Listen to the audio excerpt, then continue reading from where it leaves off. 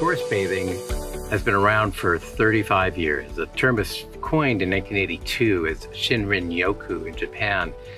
But all it really means is connecting with the elements in a forest and going a quarter mile in three hours or just finding a good sitting spot and tuning in to the kinds of things that nature provides.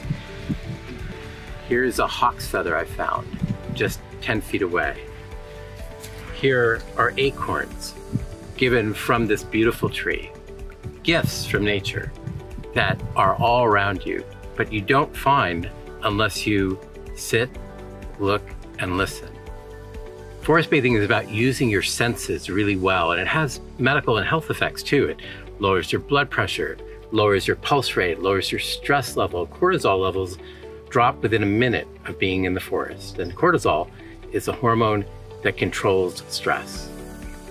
You don't have to find an oak forest like this to enjoy the benefits of forest bathing. You can find a favorite tree in a, in a park or in a backyard or almost anywhere, and then just feel the lessons that the tree is trying to give you.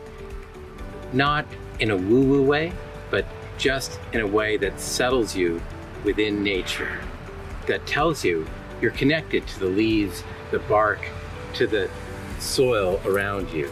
My Green RX for you is to forest bathe with any tree for just a moment with your device turned off. So you don't hear those sounds. You just hear the sounds of nature.